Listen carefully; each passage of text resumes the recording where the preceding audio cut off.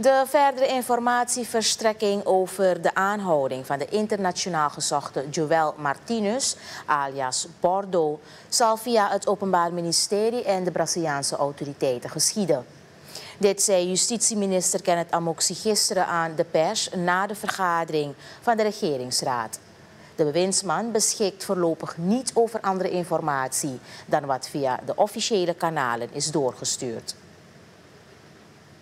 De melding is wel formeel binnengekomen dat uh, de aanhouding gepleegd is.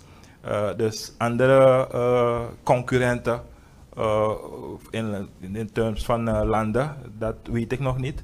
Maar ik denk dat de autoriteiten, dus tenminste het Openbaar Ministerie, zal verder overleg hebben met de Braziliaanse justitiële autoriteiten om dit verder af te handelen.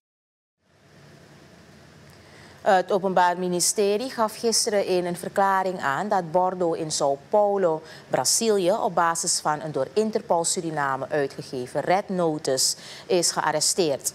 De aanhouding werd professioneel en effectief uitgevoerd door Interpol Unit van de federale politie van Brazilië.